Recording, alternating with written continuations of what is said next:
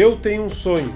Essas foram as palavras inspiradoras e icônicas proferidas pelo grande líder dos direitos civis norte-americano Martin Luther King Jr. em 1963, durante a Marcha dos Direitos Civis. Ele sonhava com um país e um mundo onde negros e brancos eram iguais. Infelizmente, mesmo com tanta tecnologia e avanço, a gente ainda não chegou lá e pior, nós temos que enfrentar muito desses preconceitos, racismos e uma série de outras coisas que acontecem na nossa sociedade. E nesse vídeo eu vou trazer para você a importância da gente falar nesse assunto e, em especial, entender o que, que acontece na nossa mente que gera esse tipo de comportamento e atitude e como é que a gente vai fazer para desarmar isso aí, para entender e, sim, claro, melhorar, trazer a inclusão, a diversidade de forma real, prática para o ambiente de trabalho, que ajuda tanto as empresas, não é mesmo? Já é comprovado que diversidade e inclusão de verdade geram mais resultado para as empresas. E é isso que a gente vai falar nesse vídeo. Então, fica aqui comigo e vamos lá tratar desse tema.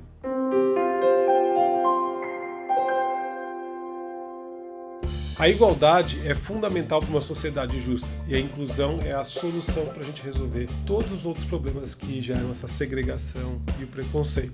E se você, antes de mais nada, é novo ou nova nesse canal, saiba que aqui na MindStation a gente fala sobre a sua mente na prática. Então, se você gosta desse tipo de conteúdo, já considere deixar o seu like, já faça um comentário se você quiser ou quiser aprender mais sobre o assunto ou outros assuntos que a gente trata aqui e principalmente se inscreva no canal ativando o sininho das notificações para que você possa receber mais vídeos legais como esse no seu dia a dia, tá bom? Mas vamos lá, vamos falar desse tema que é polêmico e ao mesmo tempo é importantíssimo. Eu sou abordado o tempo inteiro para levar treinamento para as empresas e falar de diversidade e inclusão. É isso mesmo que você ouviu, eu eu, eu que sou branco, né? A pessoa fala, ah, você não tem lugar de fala. É, e na verdade não. Todo mundo, de certa forma, de alguma forma já sofreu algum preconceito, algum bullying ou algo do gênero que se sentiu mal. Óbvio que existem outras pessoas que têm é, características e que são julgadas pelos outros e que é realmente terrível.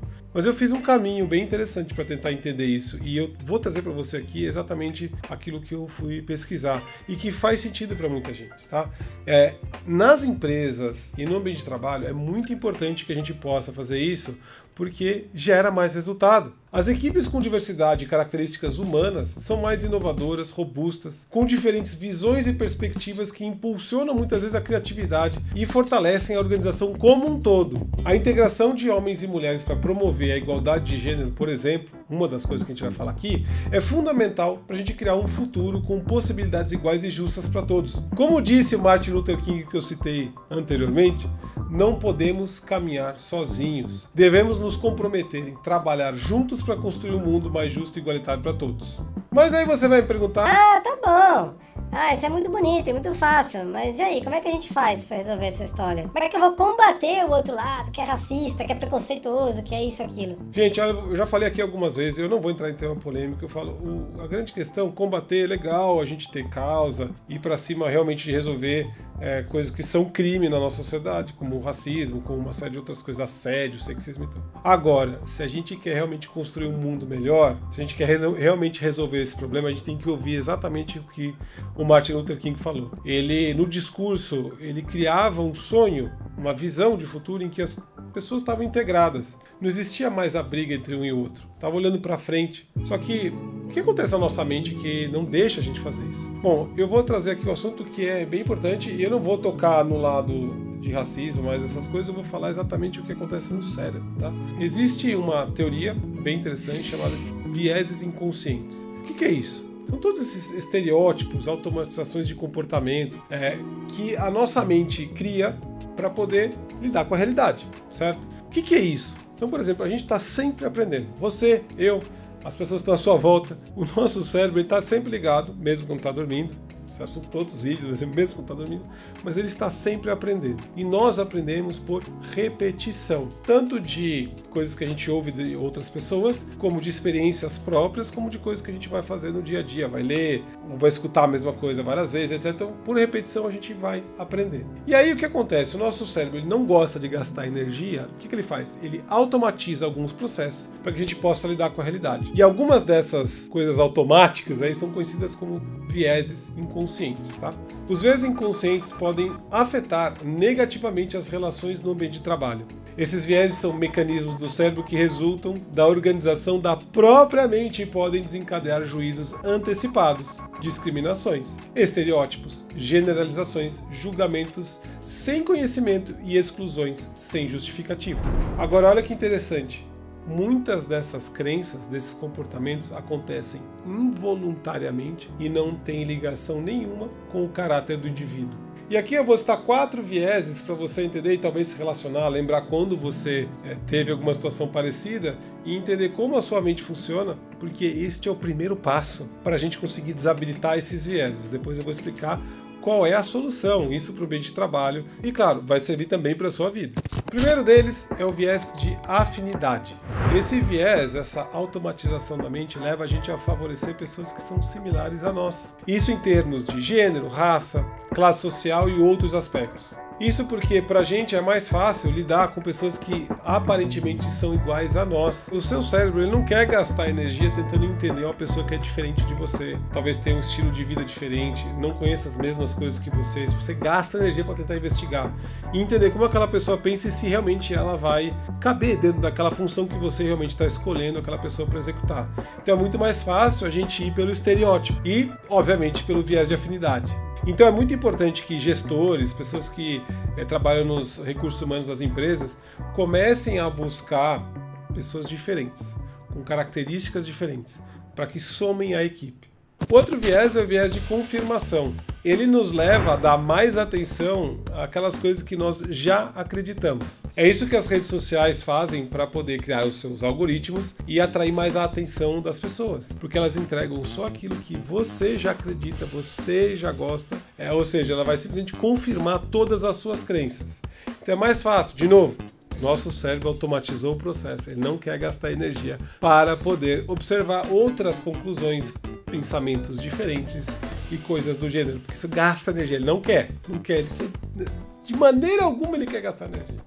Então, todo tipo de informação que for contradizer as suas crenças, a gente tende a não aceitar. Por isso que muitas vezes algumas empresas não reconhecem as realizações de funcionários que têm é, pensamentos diferentes, ou que têm crenças diferentes, ou que sejam diferentes de qualquer forma. E aí a gente vai minando a diversidade. Terceiro viés o viés de estereótipo de gênero. É aquilo que faz com que a gente acredite que, ah, por exemplo, os homens são mais agressivos, as mulheres são mais dóceis e afáveis, ou as mulheres fazem mais de uma coisa ao mesmo tempo e os homens não fazem. Na verdade, gente, isso foram informações aprendidas, vezes estão erradas e fazem com que a gente tenda, muitas vezes, além da que eu falei anteriormente, mas também a reconhecer algumas habilidades ou conquistas mais de um grupo do que do outro. Por quê? Ah, porque se o homem é mais agressivo, ele tem mais conquistas, você não vai conseguir jogar isso ou, ou acreditar que uma mulher, por exemplo, fizesse a mesma coisa. Então, viés de estereótipo de gênero também é algo ultra complicado e as empresas têm que trabalhar com muita atenção, muita consciência para conseguir identificar isso e parar quando acontece.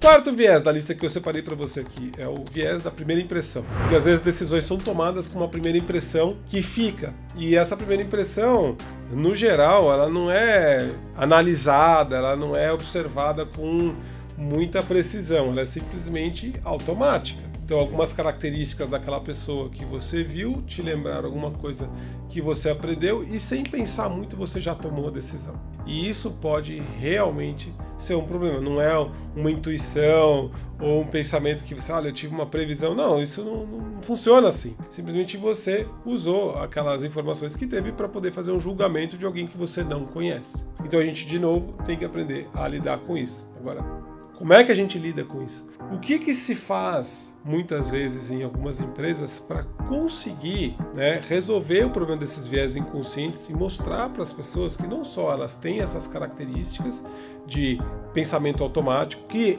de fato é aprendido aqui por religião, por educação na escola, educação dos pais, cultura de um país, até em volta, as pessoas falam certas coisas de um certo jeito, acham é, piada, ou acham engraçado algumas coisas quando são feitas e de repente está ferindo outra pessoa, a gente não sabe mas a gente achou engraçado porque quer participar do grupo, certo? Então, toda essa repetição, ou as suas experiências também. Porque as suas experiências contam. Você teve algum tipo de experiência negativa em algum lugar, aquilo vai ficar e toda vez que você lembrar daquele lugar ou alguém falar daquilo para você, você vai se remeter àquela experiência do passado que muito provavelmente pode não ser a mesma que você vai ter agora, certo?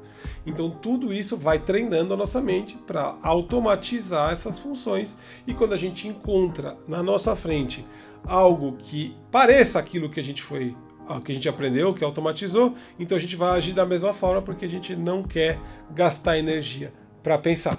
Entendemos isso? Não tem só quatro viés, tem mais um monte, centenas de viés ali que a gente podia falar. Eu não quero entrar muito a fundo nisso, eu quero falar mais da solução. Você sabe como é que a gente pode resolver isso? Muito fácil, tá? Simples e difícil ao mesmo tempo.